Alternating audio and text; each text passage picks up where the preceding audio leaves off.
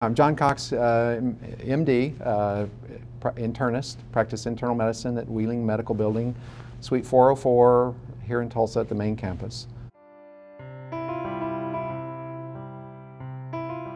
There's a lot of satisfaction dealing with patients, people.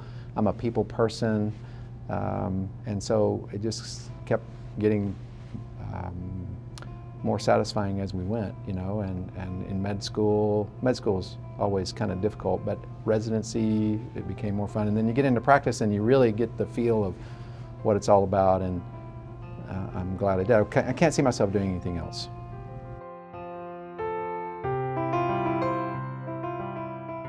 The most important thing is to listen to the patient.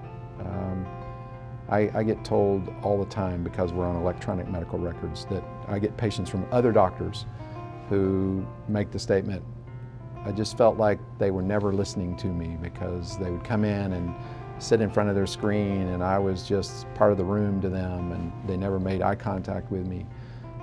There's still a huge need and demand for that interrelation, you know, that interpersonal relationship that one-on-one, that eye contact, that handshake, that, hey, I know you're here in the room with me and that we're in here together and we need to figure whatever this issue is out together.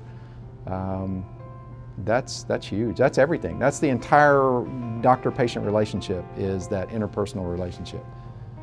Nothing else beyond that really matters that much. Because you can do so much more with people through that relationship than prescribing a pill, setting them up for a procedure, that's, that's the most important thing.